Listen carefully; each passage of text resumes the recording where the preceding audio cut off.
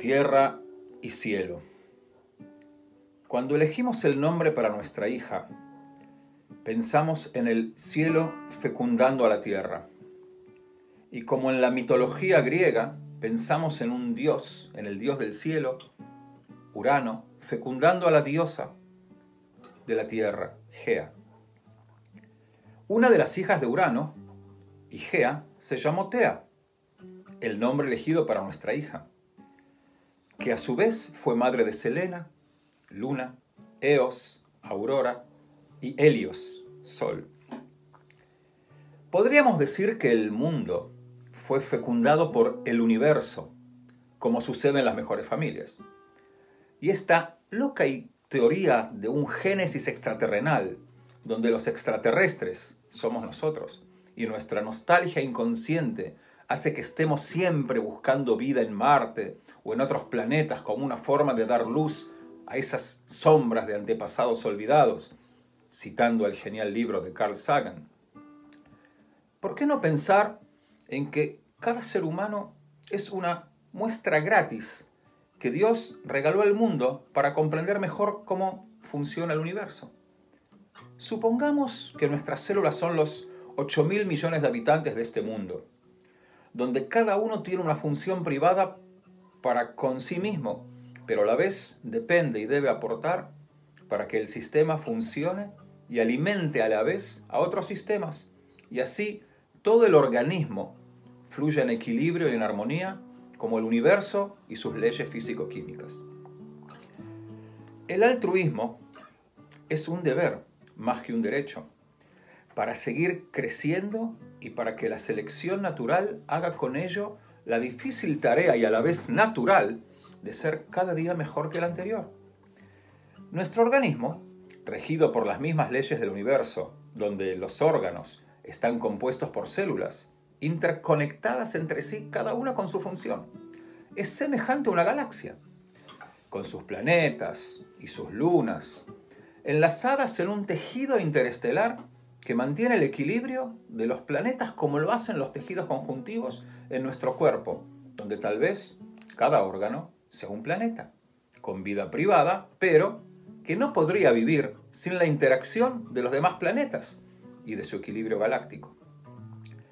Las células se renuevan de la misma manera que los habitantes de nuestro planeta, donde la conjunción de dos células no es la suma sino la creación de una nueva célula única donde uno más uno no es dos, sino uno.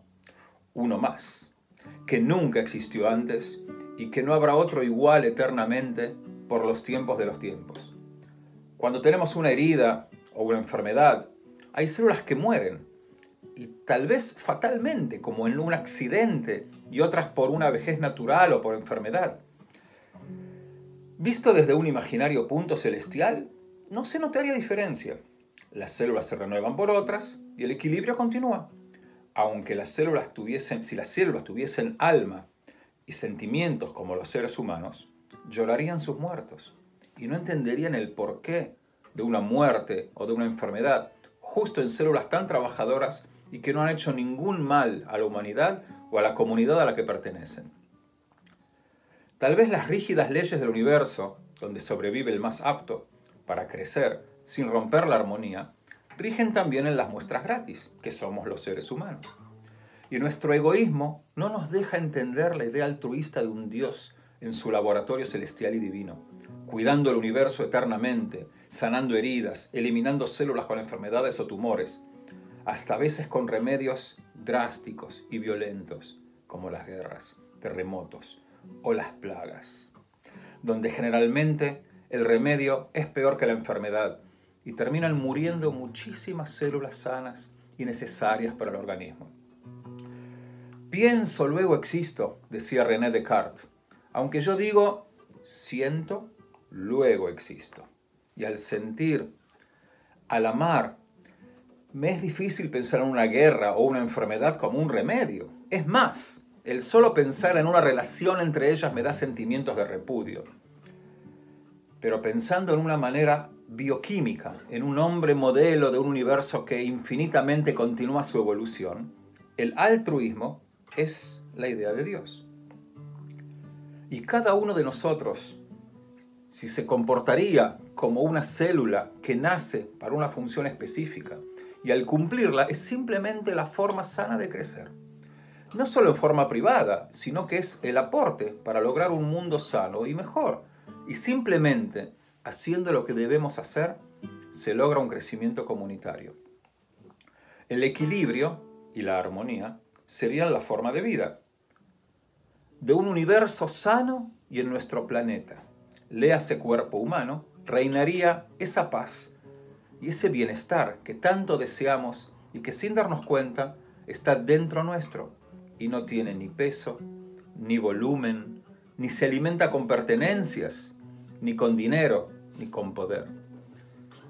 Y se llama alma, aunque su nombre artístico también es conciencia. Gracias.